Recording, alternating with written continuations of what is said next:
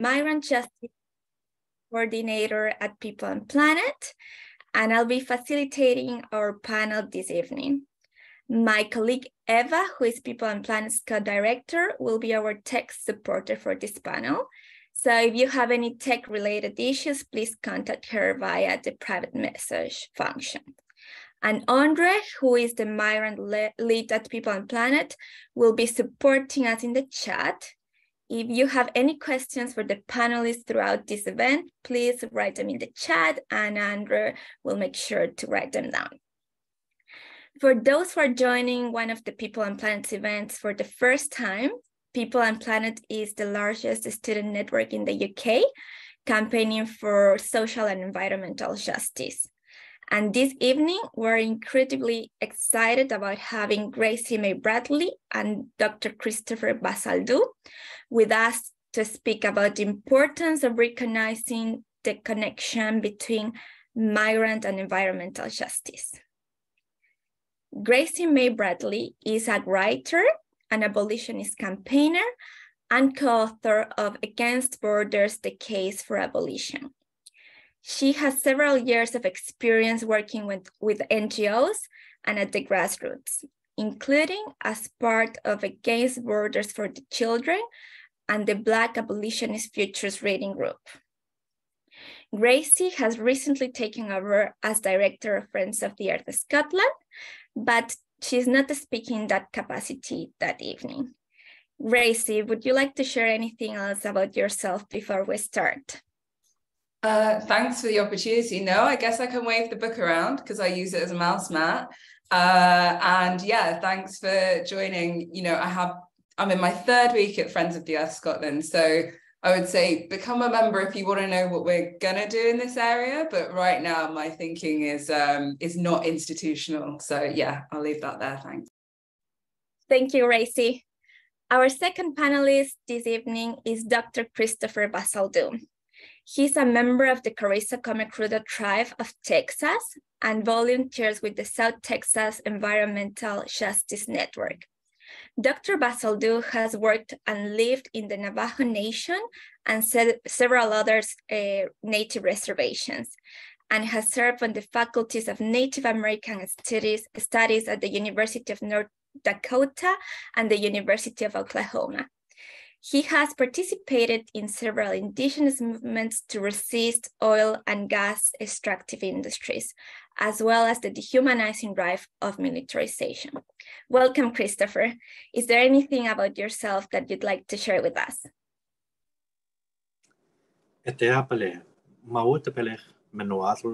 Likau uh, yen yen helshat yen yen somisek um, Um, what you just heard is the language of our ancestors. Uh, we call that, we say it's Eshtok, and uh, we call ourselves human beings, Esto'k Gna, in our own language, and we call our homelands Somisek. And the border between the United States of Mexico and the United States of America actually runs in our in the middle of our homelands. So to us, it's not a border, but to settler colonial nations, it is a border, and that's why I'm just happy to be here and happy that I was invited to to talk to you and make some comments. Thank you. Thank you very much, Christopher. Such an exciting way to start this panel too. We are very pleased and grateful for having you and Gracie sharing your experiences with us this afternoon. And because I don't want to take more time from the panelists, I'm going to jump right in and ask you, Gracie, why do you think it's important for climate and migrant justice movements in the UK to recognize the intersection between migrant and climate justice?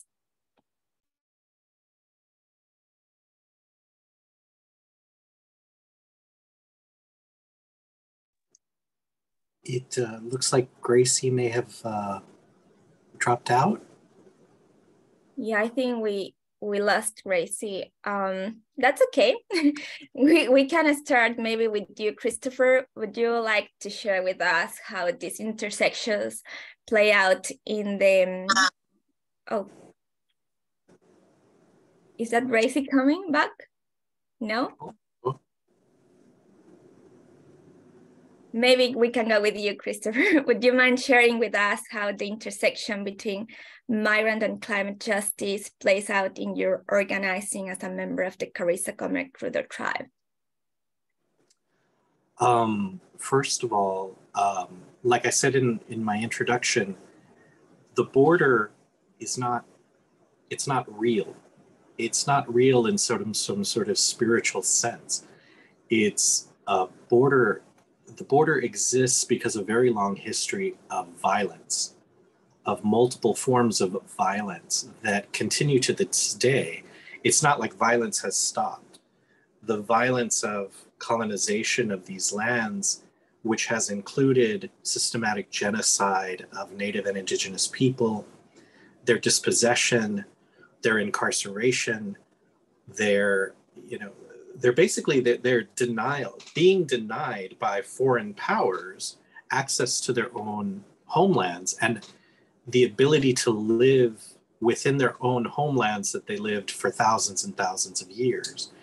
And there are many many native american nations along the so-called border between the united states of america and the united states of mexico. And so there's a shared perspective that this boundary is imposed, it's new, uh, it's fake in the sense that it's this, there's no real line there, but it's a line that is created and it has a physical reality in the sense that it has to be maintained through violence, structural violences, legal violences, the violence of law enforcement, and even the violence of military intervention. And that in and of itself has to be where we start our analysis from is that here it's it's stolen land. And in order to seal that land settlers and settler governments have literally murdered people. Starting from that perspective the next connection we have to make is that migrating is simply human so people moving across lands in order to survive or seek a better life, this is just normal. Oh, Gracie's back, thank goodness. Um, uh, that migrating across lands is simply human, right? And so again, there's the imposition of violence, and in this case over here by settler colonists, in order to create uh, or maintain a fiction of a boundary that doesn't mean that the violence is against actual human beings, human lives, human bodies, human families is not there. Okay, and now the, the, the final connection, the third connection of those two points is that human beings, especially from an indigenous perspective, are not separate or different from the environment. If an environment is destroyed or degraded, human beings must move in order to survive. And what we're seeing is migration of human beings because either global capital has destroyed their lands or extracted their resources against their will, against the will of the people, against the will of indigenous people. And that violence causes people to move. As the coastlines, you know, they keep telling us sea level is going to rise, and so coastlines will be more and more inundated by seawaters then people are going to have to move away from those coasts. Um, and it's usually the poorest people who have the least access to capital and the least access to wealth or resources that lose everything. They literally walk and migrate with just the clothes on their backs if they're lucky, and many times even without documentation. And so migrant justice and climate justice go hand in hand because if we actually had climate justice, we wouldn't have the violent displacement of people. They wouldn't be forced to move. And then you have this double tragedy of settler colonial nation states empowering so called law enforcement for these fictitious laws to sort of sanctify and give them impunity on the violence that they're doing to people, to human beings. And it's literally bound up, fourth point, it's literally bound up in 500 years of genocidal history that makes white Americans, white Canadians, white Mexicans who are in the ruling class and ruling power who have no pain, but have all this power to inflict violence on people with no power to resist that violence, you know, other than their stories. So all of these issues are already connected because it's been connected by 500 years of global colonization and genocide in the theft of resources to create a white supremacist global system where Europe becomes so incredibly wealthy and you know European Americans, European Canadians, European Mexicans become incredibly wealthy and a ruling class and who have no human emotion about the lives and land that they destroy sorry if that was too long-winded, but I'm glad Gracie's back. No, thank you. Thank you very much, Christopher, for sharing such insightful comments. And thank you for mentioning also how the law plays out to create those imaginary borders. So many injustices have been committed against racialized people, especially um, indigenous people through colonialism, that it's really difficult emotionally to listen to them. But at the same time, it reminds me of the powerful words of the daughter of Jacinta Marcial, an Otomí indigenous woman in Mexico who was unfairly sentenced to prison because of her race. And Jacinta's daughter gave a moving discourse when she was liberated after three years. And without knowing, she created a slogan that now we use throughout Latin America. And she said, We're standing in the fight for our lands, for our life, for humanity, until dignity becomes the norm. So let's hope that dignity becomes the new norm soon. Um, Gracie, we're happy to have you back here. Uh, just before we, we lost you, uh, I was asking you if you'd mind um, sharing with us what you think it's important for the UK movements of climate and migrant justice to recognize the intersection between climate and migrant justice. Over to you. Sure. Thank you. Thanks for bearing with me and uh, my internet who wants to sabotage me. Um, I think I'm probably going to reiterate some of the things that Christopher just said, at least those bits that I caught. Um, I found it quite difficult actually to to pass an answer that was clear because for me these two migrant justice and climate justice really are not very they're not really separated at all in my head conceptually. So it was quite interesting trying to tease those threads out. Um, and i suppose i'd start by saying that you know we often talk about the climate crisis and the migrant crisis. And i think that those labels are obviously misleading because they imply that you know the climate is the problem migrants are the problem climate and migrants are, the cause or the substance of the crises. And what we know is that forced migration and ecological collapse aren't mysterious natural disasters or you know the ordinary state of things they're the consequences of racial capitalism um, and I think it's really important for movements in the UK to understand racial capitalism as a foundation, because this is why these crises are mutually reinforcing. They have a shared foundation. Um, so, one, you have people who are forced to move because of ecological collapse and who find it difficult to move because of existing punitive immigration systems, right? So climate crisis is producing migrants and existing borders are making their lives harder. And at the same time, governments in the global north in particular are responding to and will respond to ecological collapse through bordering and militarization by ratcheting those things up. They'll, and that will make it harder for people to move for any reason, climate related or not. And so bordering is a response to the climate crisis that affects and will affect people on the move. So I think we should understand these things as constituting one another. I also wanted to bring in the fact that immigration systems in the global north often grant only partial rights or limited rights to migrants and their descendants.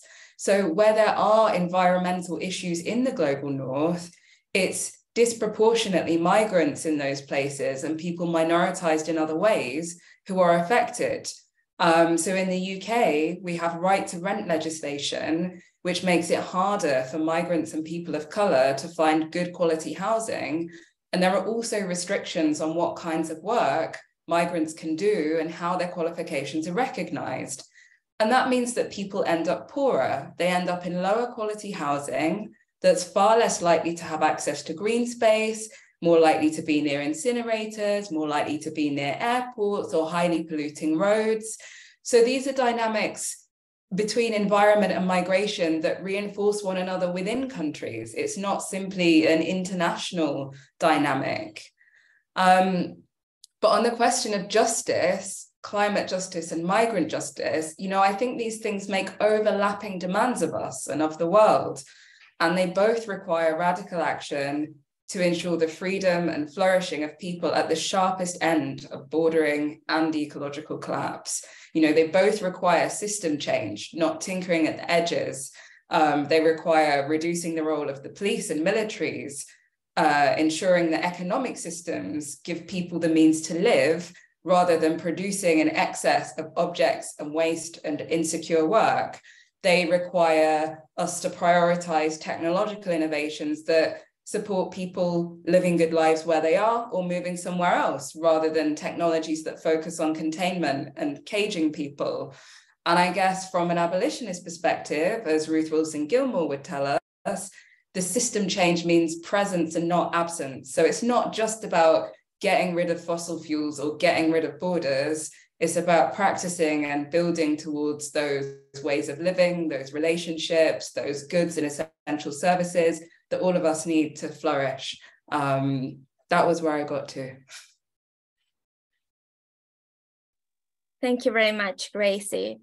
Um, I'm sure lots of people have questions about what Gracie just said, and it'd be great if you can write them in the chat so we can make sure uh, Gracie and Christopher can answer your questions later. Uh, but before that, before we open the space to questions, um, just about what Gracie was saying about the importance of building those um, steps to go towards uh, a world without borders and challenging the system.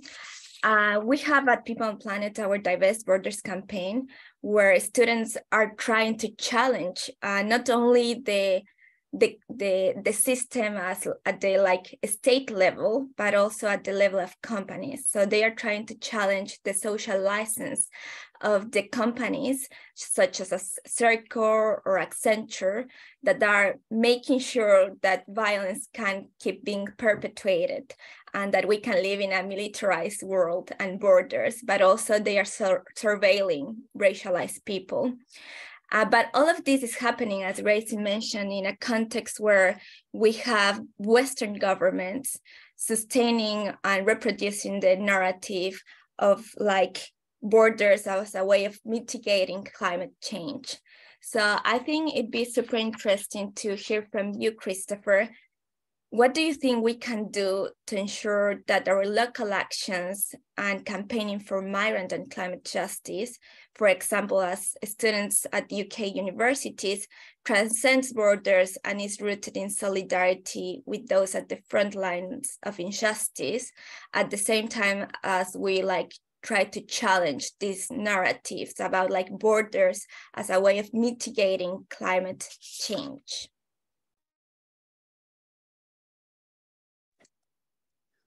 Oh, wow, that is a really tough question. Um, so first, uh, I, I, just want to sort of elaborate a little bit on how militarized enforcement of borders is one, a bad strategy, but it's a strategy for climate mitigation. And briefly, um, the United States of America as a settler colonial state uh, you know, set up what's known as the Border Patrol back in the 1920s, the early 1920s. And the Border Patrol was literally a police force along the southern border to, to police race, creating a category of race and trying to keep America white and to make sure that brown people that came up from the South or brown and black people that came up from the South were disallowed to exist in the United States. Um, that that history just sort of puts it in in perspective that our law enforcement and border uh, enforcement from its inception is racist and that it's racializing human beings so that they don't enter their this imagined America, United States of America, that is uh, an ethno state, a white ethno state. That is equated to climate mitigation in that you have had in the past uh, you know, several decades, especially since this, the tragedy of 9 11, what you've had is the United States responding by saying we have to keep our the, the body of the United States pure of both terrorism and non-whiteness. And so the United States created this sort of like meta narrative that everything that is not white is therefore a potential terrorist threat. And they used that idea to cement uh, sort of popular approval of, of hardening the border, making it, making more border barrier into border walls, higher walls, stronger walls, more walls, right? And at the same time, uh, you know, transmitting this notion that people coming up to the southern border of the United States of America are terrorists rather than fleeing ecological collapse, or rather than fleeing violence that the uh, United States foreign policy has created. Why? They create this for this violence in so-called Latin America in order to clear the land so that resources can be extracted or labor can be extracted. So as ecological collapse or as violence causes land to not be in relationship with the people that live on it because human beings are not separate from the environment. Human beings must exist in relationship with the environment. Of course, you know, the global north is in a very abusive relationship with the environment and an abusive relationship with nature. But in in I mean, this is a really long-winded answer. What the United States is, the United States is, is poured billions of dollars into a climate mitigation strategy that is simply, we are going to build a wall so that climate migrants will not be able to come into the United States and take away our good stuff. Not going to take away our housing, not going to take away our jobs, not going to take away our peace of mind. Um, the United States of America has chosen badly, has chosen wrongly, has chosen inhumanely, but that's on brand for the real history of the United States, which is genocidal, always has been and has never ceased to be genocidal. Their response to climate mitigation is to create Fortress America and then market the sort of like green capitalism and this notion that America is going to be a green utopia, sadly. So thank you for listening.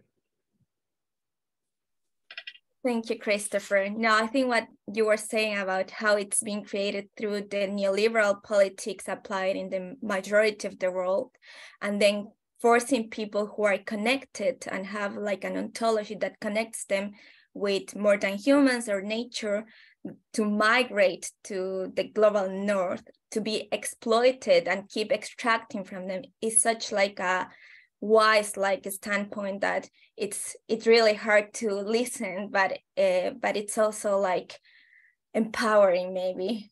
I don't know if that's the right word to to uh, speak about empowerment but anyway um, before i continue speaking uh, thank you very much christopher. Uh, Gracie, I don't know if you'd like to um, share with us a little bit more about, from your experience, what do you think uh, we can do to take action locally and connect the migrant and climate movements globally while resisting these narratives? Um, so I have a few thoughts.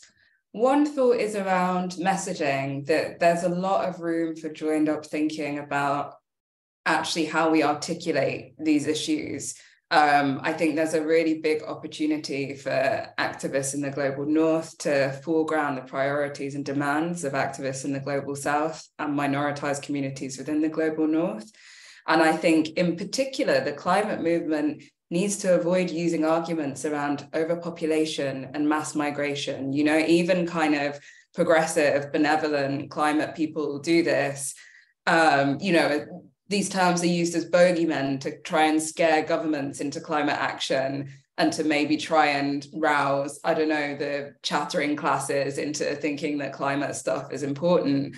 Um, but obviously, these terms play into racist tropes and anxieties around there being too many of a certain kind of person and of course, these terms ignore the fact that the climate crisis has its roots, as we've both said, in settler colonialism and is the result of an extremely wealthy minority of predominantly white people in corporations hoarding and exploiting resources in ways that disproportionately harm the global south. So I think there's, it's not that I think people need to do debunking, because I think debunking can often just reinforce um, the same terms, but I think avoiding and within our own movement spaces explaining this is why we don't go on about overpopulation. This is why we don't do stuff on mass migration. I think that would be one thing that people can do. Um, but I also think, you know, I think capacity is so stretched, but where migrant justice activists can support climate actions, that's great, especially when they're at the local level. So, you know, that might be people campaigning and lobbying at the neighborhood level for, you know, low emission zones and better public transport and cycle infrastructure or better recycling facilities or reclaiming green spaces for food growing. Like everybody should understand that actually those things are yes to do with environmental justice but they're also to do with migrant justice. So i would say showing up when people are militating for those things is um is important. And i think finally we need to recognize that yes, our legal frameworks produce some of the injustices that we want to mitigate. At the same time, they are a, a limited tool in pr- protecting against some of these phenomena. So, you know, the global north really is on a mission to dismantle refugee laws. It's also undermining massively protections for free expression, people's ability to go out and protest. And I think that we need not only to be defensive and say, no, you can't take those things away from us, but we also need to think, what's the future of this kind of legal protection? I don't think movements should let the majority of their energy be consumed by legislative reform. But at the same time, in terms of kind of concrete demands to governments right now, we could be saying, well, actually, we want we want a stronger refugee convention. We want a refugee convention that explicitly mentions climate. You know, these are reformist demands, but these will be the outer limit of what some groups can say. Other groups can do more radical, interesting stuff, but those groups that are working within that legislative, parliamentary lobbying agenda have a think about these things because actually governments everywhere are becoming increasingly authoritarian when it comes not just to people on the move, but also to the right to protest. Amazing. Thank you very much, Gracie. Uh, I think recognizing the law as this, this symbolically powerful tool is important. But as you said, all our efforts shouldn't be like focused on that because law by the end is another colonial tool. And as Audre Lorde said it. Um, the master's tool will tools will never dismantle the, the master's house, and I think that's that's what happens with law, eh, with law all the time. Uh, th but thank you very much, Gracie, for sharing some of your wisdom. Uh, we'll give a space to people to ask questions in a minute. But since I have the privilege of chairing and because the migrant justice team is so excited about this panel, I hope you don't mind. It's going to be me who's going to ask the first question on behalf of the Divest Borders crew. Uh, because at Divest Borders and our student organizers are very aware that campaigning and organizing can take a lot of energy from individuals and networks resisting injustices, meaning that a lot of times we can feel disconnected or overwhelmed. So we'd love to hear from both of you. How do you think we can create organizing spaces where people take care of and connect with themselves, their bodies, and each other?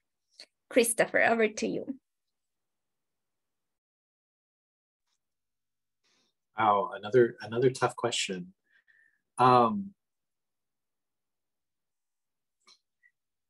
this is something that I struggle with, and uh, some of the other people in the South Texas Environmental Justice Network, we're struggling with this right now because we've we've had so many bad things happen in our direction.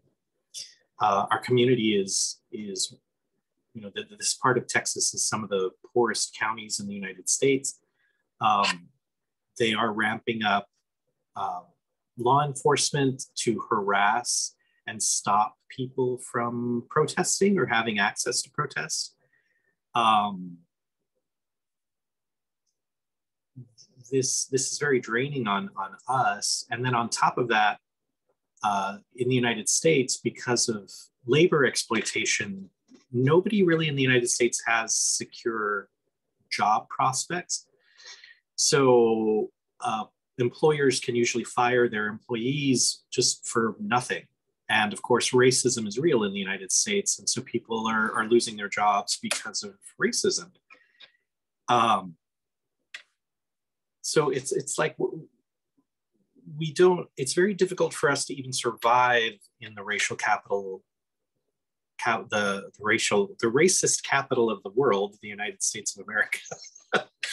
and so, yeah, I, I, I wish I knew. I mean, um, a lot of this kind of work is burnout and i don't have any extra advice other than the usual you know support each other keep an eye on each other making making sure that when people are are hurting or close to burnout that they find ways to support each other.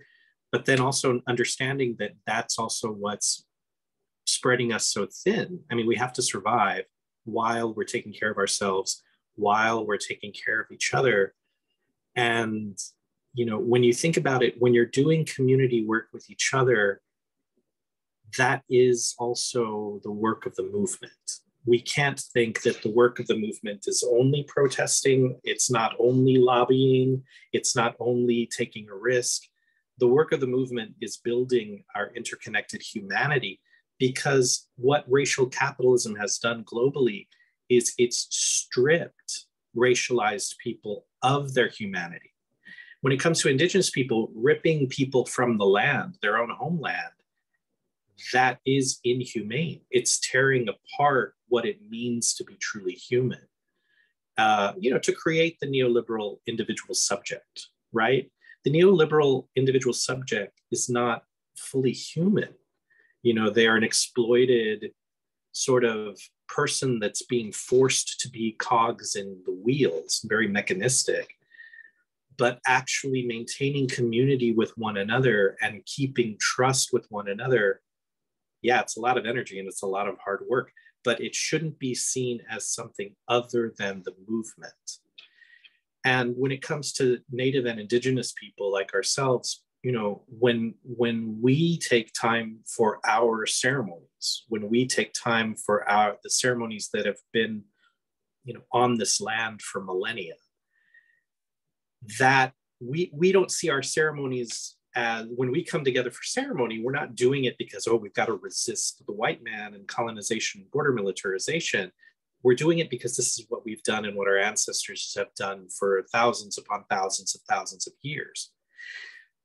Outside of the context of that ceremony, the fact that natives are still having ceremony and are still living in community together is resistance to settler colonialism and the environmental collapse that it's causing and cap- uh, capitalism. It's it's resistance to all of that because it's a form of living humanity that we're trying to to make sure moves on to future generations again because what we think of as capitalism uh, environmental destruction through capitalism all of these things is the stripping away of humanity and the impunity that families like you know the windsors can just sleep on their wealth and be happy about about all the destruction that they've caused and that they've been they've been uh, you know encouraging for so long. It's it's not separate. It's like we're trying to be human and remain human and not this other type of humanity that's exploitative and destruction destructive. We're trying to live in community where human beings are not separate from the earth that human community can live in responsible caring relationships with our environments and the other non-human relatives that we have.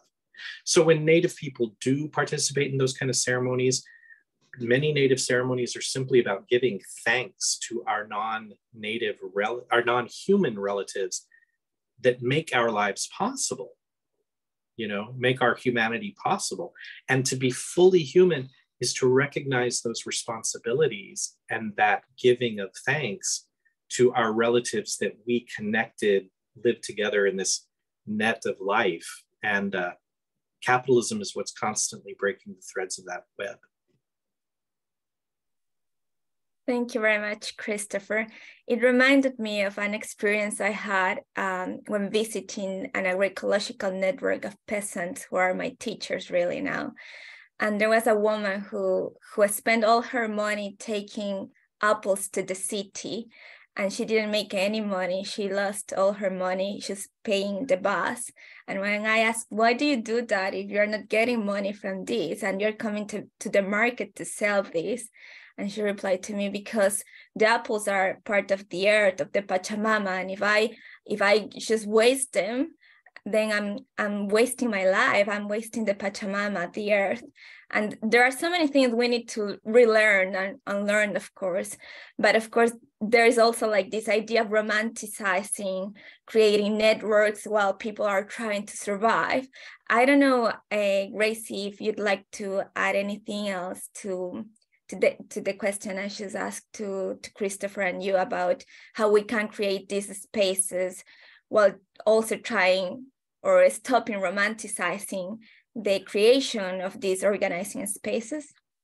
Sure. Um, yeah, I had some maybe uh, like relatively prosaic thoughts on this. I think just to echo Christopher, first of all, that, you know, like one burned out person is not going to save the world we can't think of ourselves in that way. It just doesn't it doesn't work. It's not going to serve us right?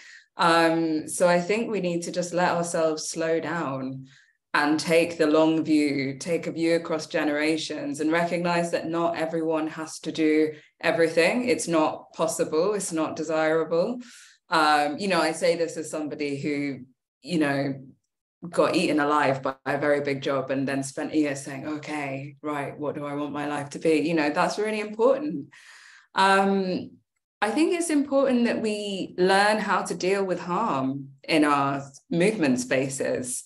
I think that that's i think people are well on board with the bits of abolition that are kind of redistributive where we're saying less for the police more for healthcare and people are maybe less on board or have thought a bit less about okay but also if we don't want any police i mean the police don't deal with harm anyway. We need to figure out how to deal with harm. That actually means practicing that. Um, you know that's we can read about it sure but we're just going to have to practice and experiment and make mistakes and keep learning. So i think learning how to deal with harm in our movement spaces is really important because so many just kind of implode because things can't be held and worked through.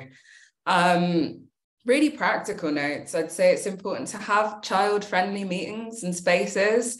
Um, it's important where we can to maintain some of those pandemic protections. So, can we provide masks? Can we provide lateral flow tests? Can we tell people what ventilation there's going to be? Can we meet outside? Can we do hybrid meetings? Um, so, there's some pragmatic stuff from there.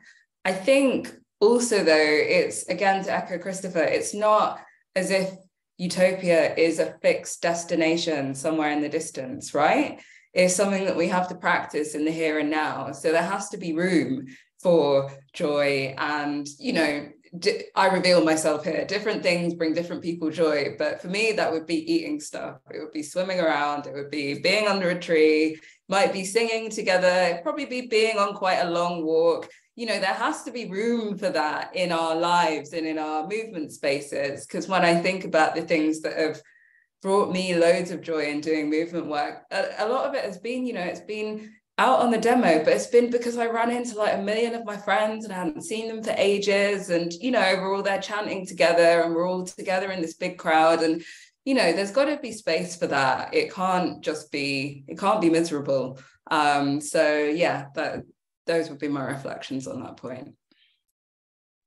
Thank you very much, Gracie. So true, we need to reconnect with ourselves and have that connection with nature more than humans and each other.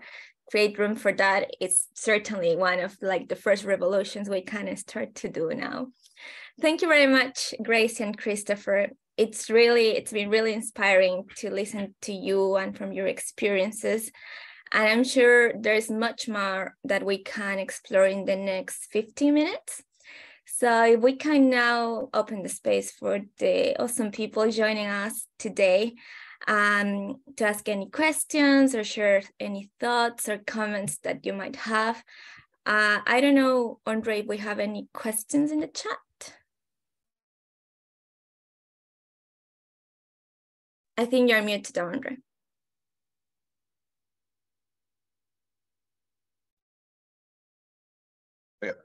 Sorry, just couldn't unmute. Um, yeah, we got some. Yeah, we got two two great questions in, and probably for the interest of time, maybe I'll direct one at Christopher and one at Gracie, and then we can yeah, uh, hopefully fit it in. So, Christopher, we have got a question from Stephanie, who says uh, she's been thinking a lot about who our laws, policies, government leaders are really working for in the relationship to human rights.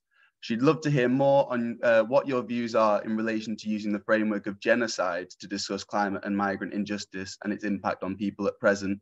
Is there another framework? What's the best way to create understanding when you're speaking to someone coming from a very different point of view or in a position of power? Um, so, a couple of parts to that, but yeah, jump in on, on any of that that takes your interest. Uh, that's a lot. Um, as far as like lawmakers and governments, they do not work for the people. It is simply ideological pablum that, that says, oh, we represent the people, we're for the people, by the people. It has nothing to do with the people. But then we also need to know what is the meta narrative of saying who are the people that they're for. Uh, again, the United States denies that it's a white supremacist ethno state but when you look at the cumulative effect of injustice in the United States, you, you, it's clear that the United States is constantly internally at war with Black and Brown people. Uh, it's continuing to genocide Native people and, and destroy their lands and destroy their sacred sites, take their resources, exploit their labor.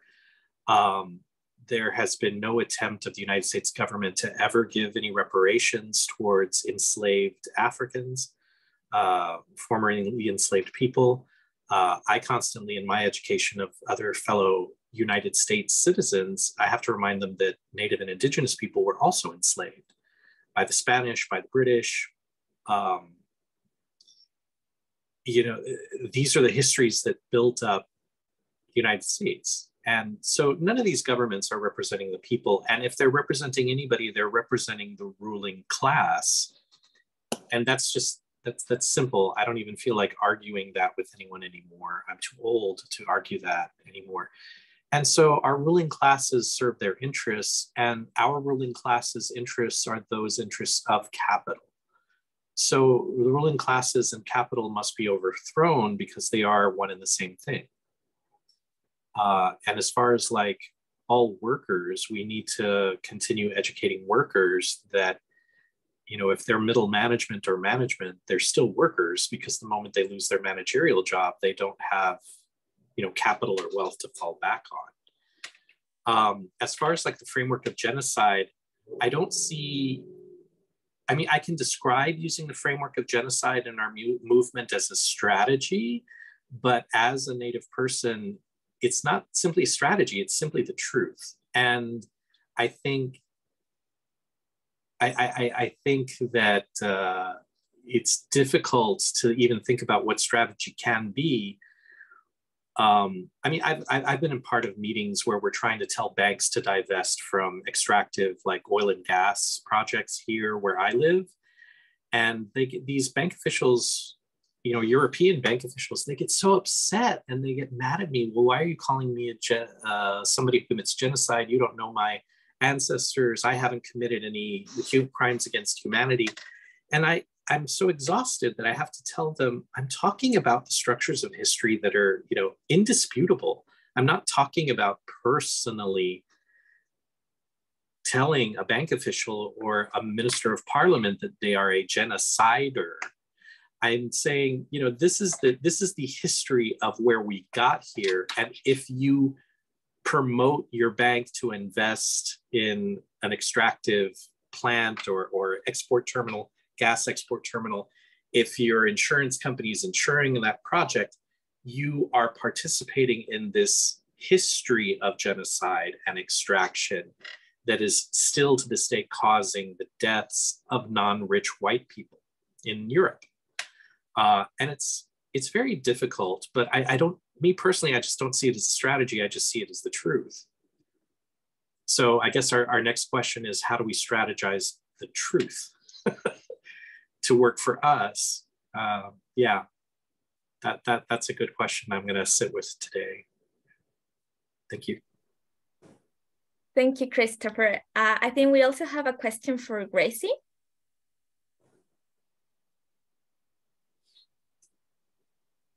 Okay, Gracie. Uh, how should border abolitionists engage with the question of Scottish independence, particularly those organizing in Scotland? Interesting question. Really not something I had directed my mind to ever.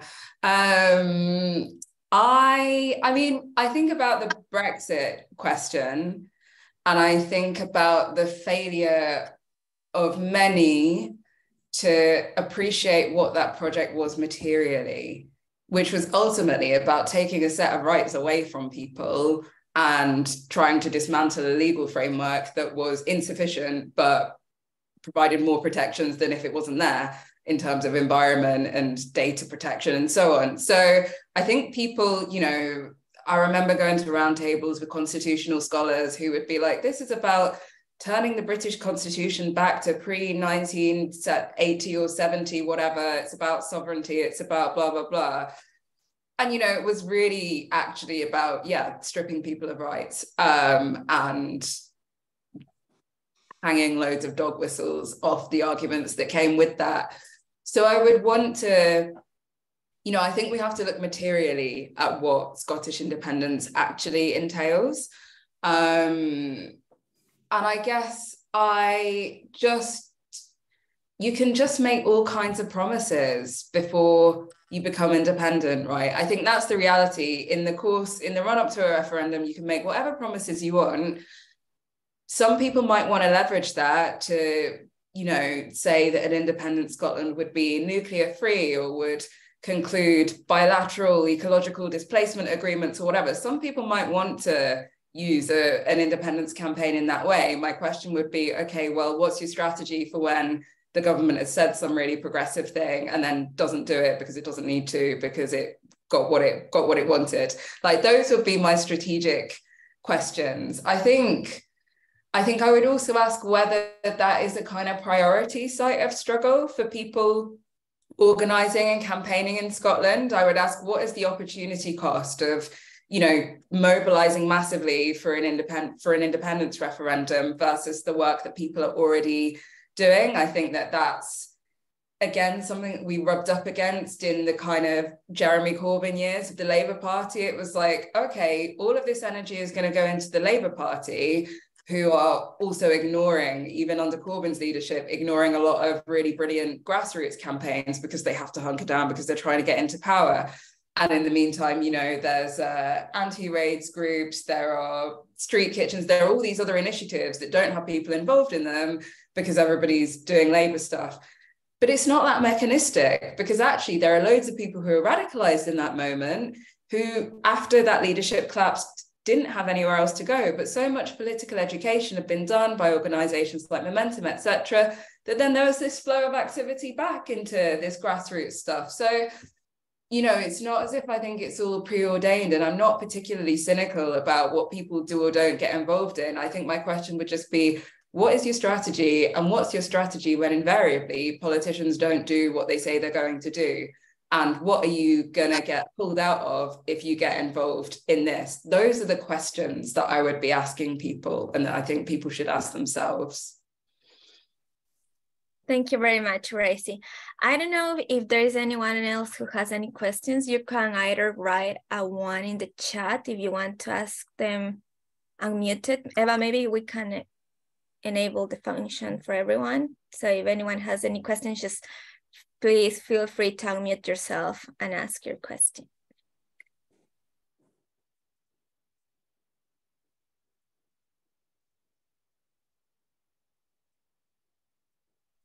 I'll probably give people one minute so they they are not shy. Uh, but yeah, it'd be great to. And Andre? Yeah, I was going to ask um, just because I'm so uh, invigorated by this conversation. If there was one resource you might direct me to uh, to go and look at after this, whether it's a film, a poem, a, a article, something, um, anything to to continue thinking about this afterwards, what would you what would you send me to? I would send you directly to if you're if you're privileged and honored enough to still have your grandmother, great grandmother alive I'd say the first thing is go to them and hear their story.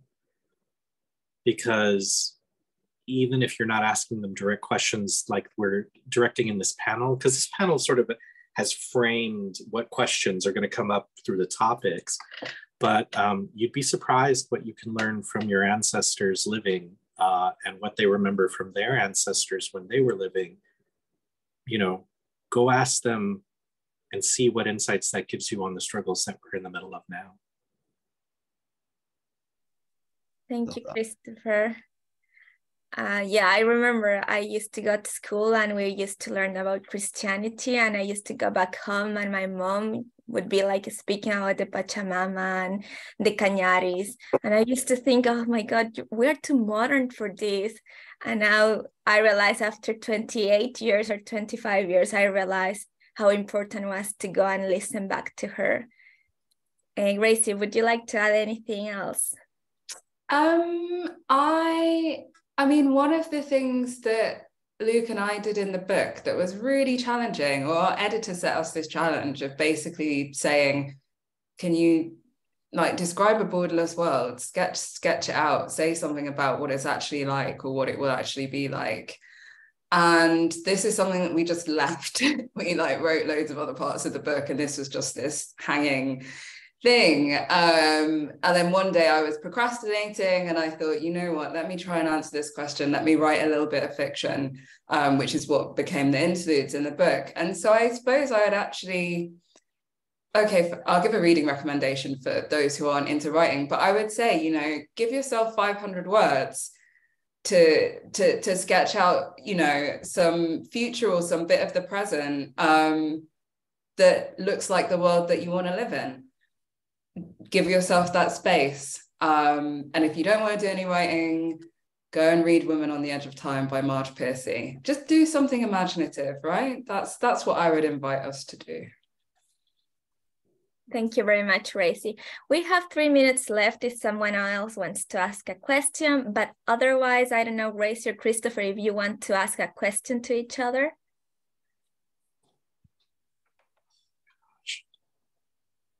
Uh, I don't have a question, Gracie, but I do want to say I'm very happy to meet you and honored to listen to you. And hopefully, we'll still have conversations in the future. I mean, feel free to email me or contact me anytime, or we can exchange numbers off off camera at some other point too.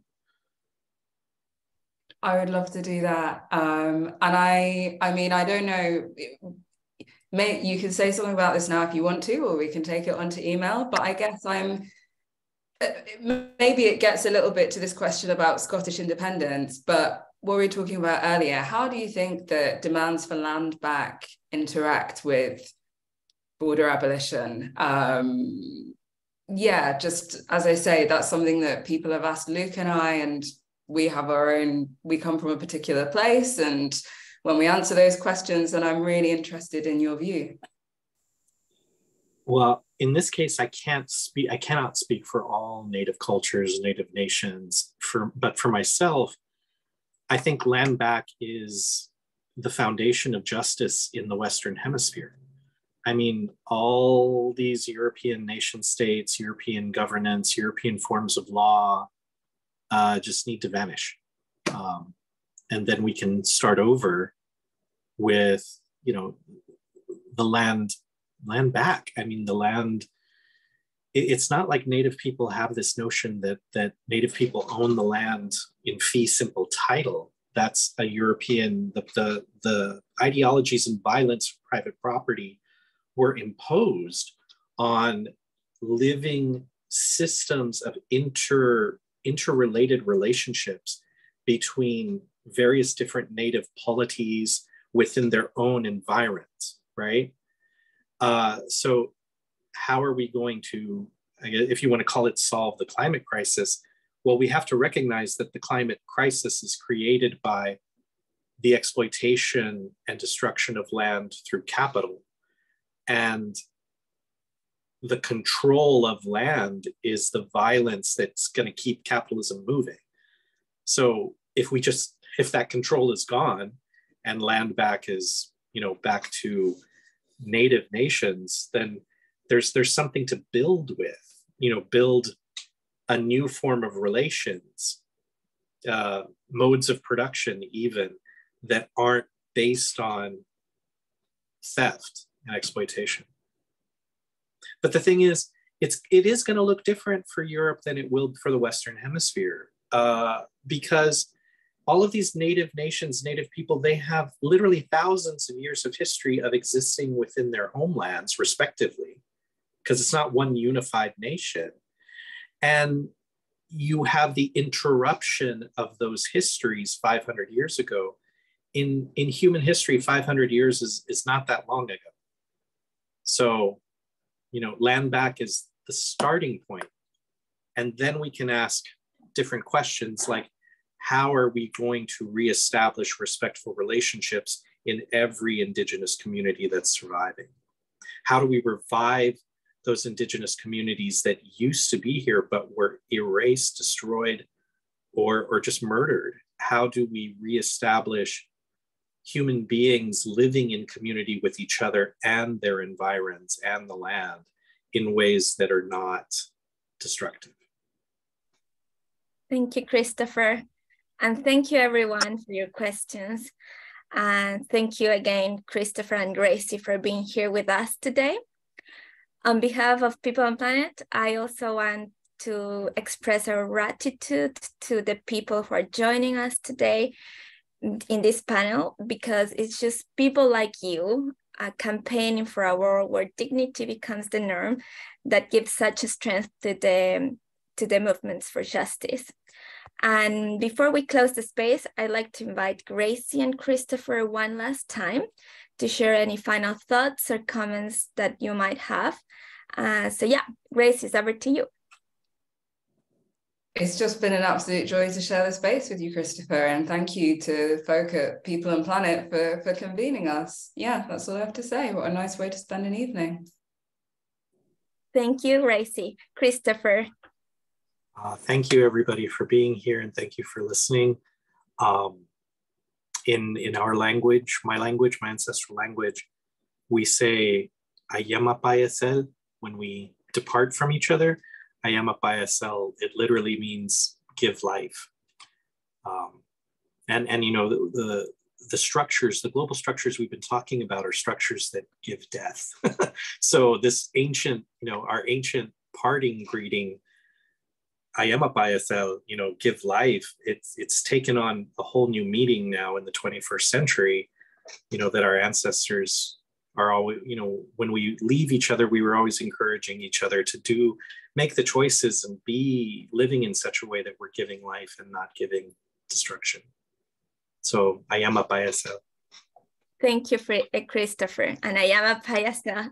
And thanks everyone again for this hour of reflection, organizing towards dignity and justice. Don't forget, we got our Divest Borders workshop at 4 p.m. tomorrow. Eva is gonna share the registration link in the chat. And on Friday, we have our amazing organizers leading a day of action across the UK universities. Have a lovely evening, everyone. Ayamapayasel. Bye bye.